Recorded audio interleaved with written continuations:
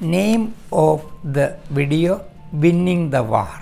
Second World War was won by the Allies. That was a major turning point in mo- modern history.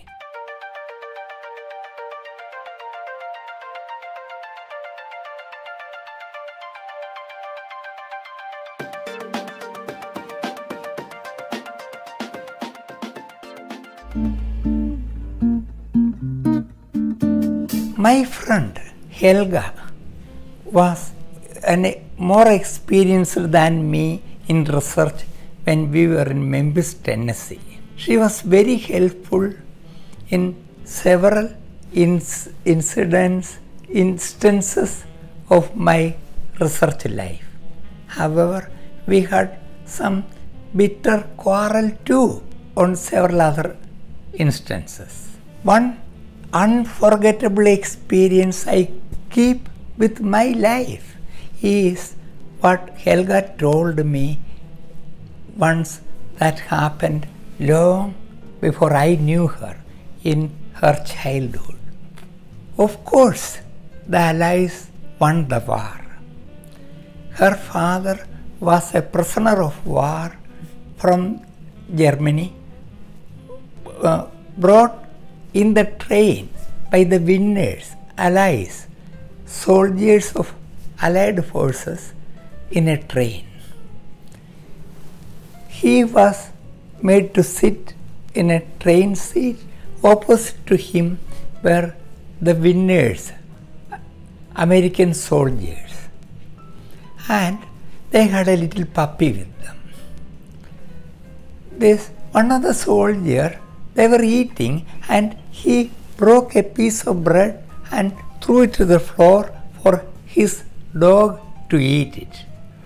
Dog happily ate the piece of bread. Helga's father was watching, craving for that piece of bread. Later, years later, he told Helga when the enemies threw the piece of bread to the dog, he was craving with hunger. He was thinking of going down and snatching the piece of bread from the dog's mouth. When Helga told me, I could feel what she was feeling at that moment. Later, I could understand lots of my experiences with Helga when looking through this lens. So, I don't have any right to feel bitter to Helga because she has gone through so many things. Another incident she told me was they were very, very hungry in a winter. Snow was hitting the window and there was no, no food to eat except potatoes. Potatoes at that time was abundant. Whenever she tells her mother, Mama, I am hungry, mother will ask, Go and eat a potato.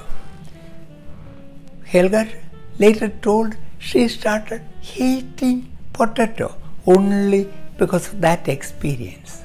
I still believe many of the ways in which we act are determined at least partially by our own past experiences.